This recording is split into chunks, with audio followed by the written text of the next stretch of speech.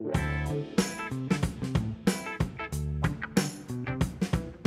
it is the next day, and today I'm going to wash it off.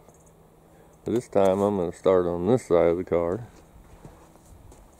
Because you're all probably getting bored of watching me wash the passenger side first.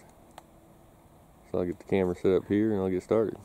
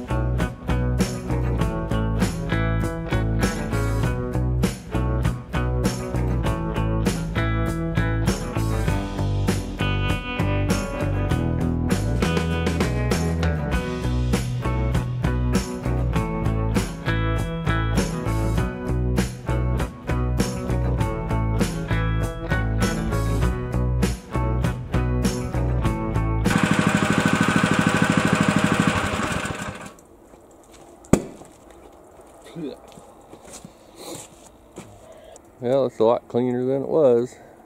Out of the, how did I wash off? This is the fourth one. Out of all four of these cars, this is the last one that I drove.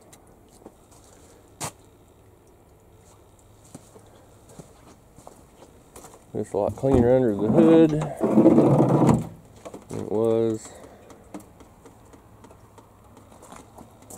Like I said, it wasn't that dirty to begin with. I mean, it was dirty, but she looks a lot better now.